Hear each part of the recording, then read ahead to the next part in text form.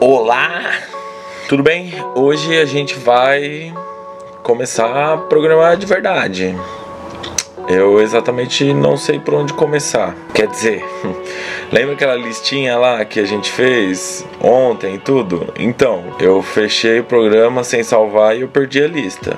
Eu lembro mais ou menos de cabeça. Ainda bem que tem um vídeo lá para me recordar. É, vamos lá. Então, primeiro a gente precisa montar um site. O projetinho vai ser o próprio site. Como eu disse, vai estar no Firebase. Então, o Firebase também é um host de arquivos estáticos. Como o nosso vai ser puro HTML, JavaScript e tudo mais, vai estar tá lá. Eu não vou investir tanto tempo em produzir esse site porque eu exatamente não sei como vai ser e eu tô esperando colaboração de alguns amigos aí.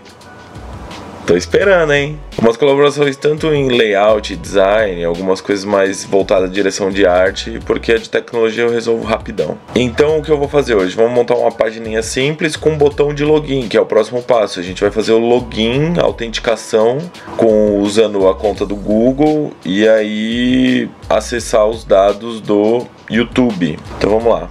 Já estou aqui. Esse aqui é o meu projeto.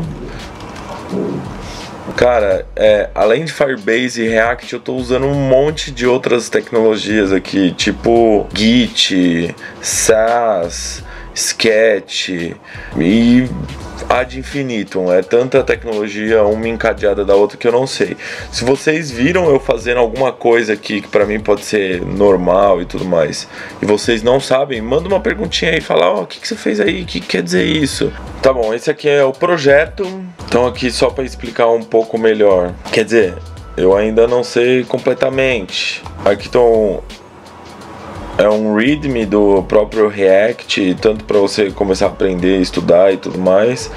E aqui nessa pasta Source é exatamente a aplicação propriamente dita. Então, pelo que eu entendi, cada módulo da minha aplicação, que ela pode ser modular ou não, ela vai ter três arquivos: o CSS, o JavaScript e o teste. O teste eu quase nunca uso, eu sou um puta programador lazarento, eu, eu, uso muito pouco teste. Então o que a gente vai girar em torno é muito mais o CSS e o JavaScript. Então vamos lá, vamos rodar minha aplicação.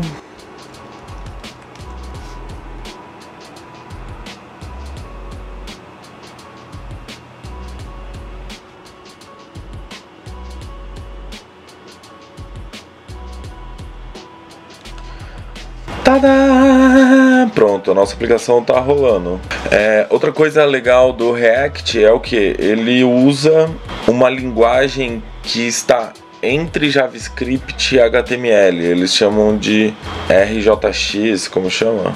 JSX que é essa linguagem que você mistura HTML no JavaScript.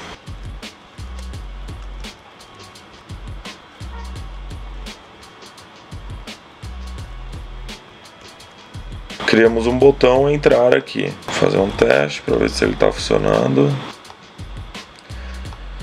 Beleza, ele está acionando nossa função que a gente acabou de criar aqui e agora vamos ver como que eu faço para o React chamar uma função do Firebase, que é o de fazer login. O Firebase já tem um repositório de um projeto React lá no GitHub deles, então eu vou me inspirar muito neles, tipo olhando o que eles fizeram, como eles fizeram e copiando muito código. É, eu falo que isso, isso é sempre um bom skill do programador. É o que?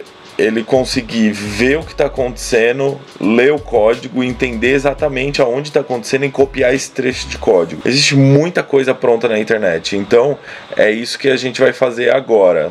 Eu vou encontrar aquele trecho de código e copiar simplesmente.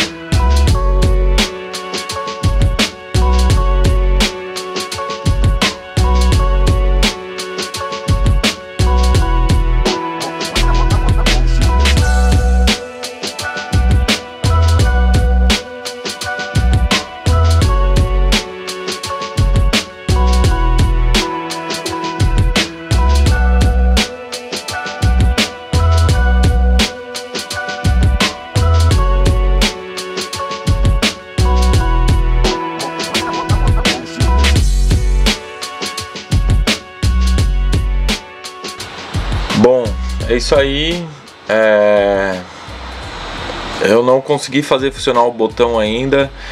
Eu acho que o grande problema é a versão do do ECMAScript que eu estou usando junto com Babel e ele não dá suporte a mixins e o React Fire ele funciona baseado em mixins.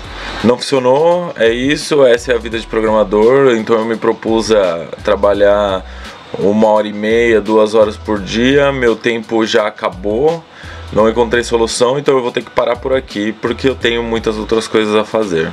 Coisa de fazer um vídeo por dia tá me dando um pouco de trabalho, mas eu tô adorando. E justamente por isso que eu tô me restringindo a trabalhar sempre de uma hora e meia a duas horas por dia. Como eu não manjo nada de Firebase e React, eu acho que esse é o grande problema. Eu acho que conforme eu for entendendo um pouco melhor, eu vou ganhar mais velocidade. Mas é isso, tá um pouquinho mais difícil do que eu imaginava, mas eu não vou desistir, claro. Lembrando vocês que tudo que eu tô fazendo tá lá no meu GitHub, eu vou deixar o link aqui na descrição. Então se você manja um pouquinho mais de códigos e programação, vai estar tá tudo lá. Me acompanha lá também. Continua acompanhando aí, me dê seus feedbacks, o que você acha que eu fiz certo, o que você acha que eu fiz errado. Não esqueça de deixar seu like aí, compartilha com seus amigos. Se você ainda não assina o canal, assine. Me fala aí o que você está achando dessa jornada aí de acompanhar eu desenvolver esse projetinho novo. E muito obrigado por assistir. Tchau.